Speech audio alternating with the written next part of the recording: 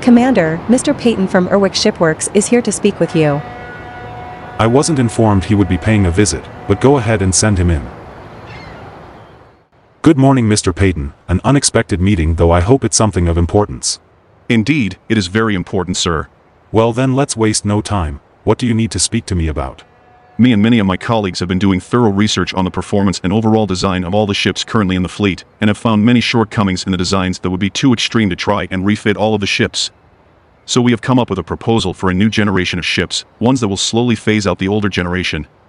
So to help show you the benefits of this, we have scratched up a prototype of the first ship we would recommend making, and see how you feel about it.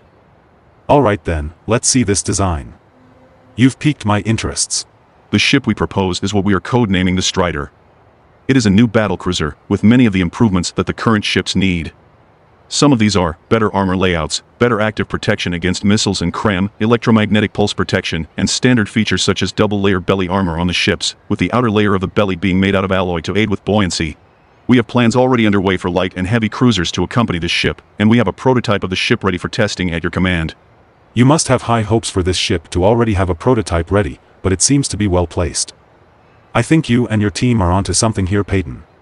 Let's get that prototype into testing, because dependent on the performance of it, I will most certainly be placing orders for more of the other ships to be designed.